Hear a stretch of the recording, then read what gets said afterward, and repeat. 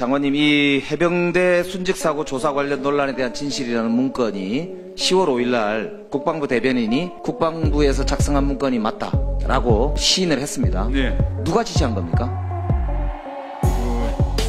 제가 파악한 결과로는 누가 지시한 게 아니라 우리 국방부에서는 해당되는 국방 현안에 관련돼서 그러니까 국방부에서 자체적으로 알아서 작성했다. 예. 국방부 정책실에서 작성한 게 맞습니까? 뭐 그런 걸 알고 있습니다. 그러면 국방부 정책실장님 잠깐 나오실까요? 정책실장님, 이 문건 누가 지시 작성하라고 지시했습니까? 예, 국방부 정책실은 주요 국방 현안에 대해서 그러니까 지시한 사람 없습니까?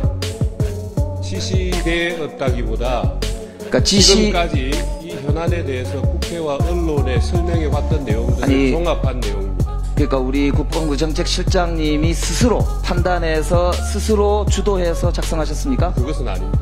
그럼 누가 지시했습니까? 누가 지시했습니까? 저희들이 내부 토의를 하면서 그 내부 토의라고 차관이 지시했습니까? 그 당시에 않습니다. 장관인 이종섭 장관이 지시했습니까? 그 장관께서도 그 알고는 계십니다. 자 그러면 안보실에서 지시를 했습니까? 안보실은 무관합니다. 그렇다면 장관이네요. 이종섭 장관이 지시한 거네요. 네, 말씀 못 하시는 거 보니까 맞다고 보고요. 이게 굉장히 심각합니다. 이거 수사 가이드라인 아닙니까?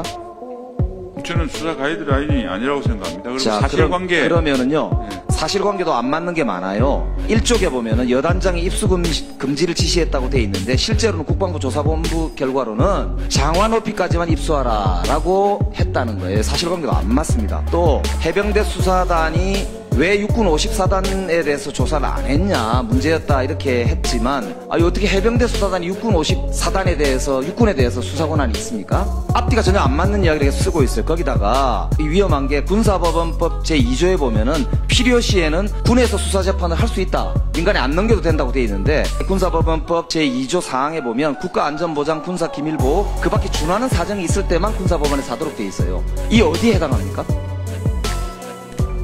이런 거의 쿠데타에 가까운 조항을 집어넣어가지고 이거를 국방정책위원들에게까지 즉 민간인들에게까지 뿌렸고 국방부의 입장을 적극적으로 변호하라 정부의 입장을 변호하라. 이 국기문란 사건이에요. 이거 감찰해야 되고 국정조사해야 됩니다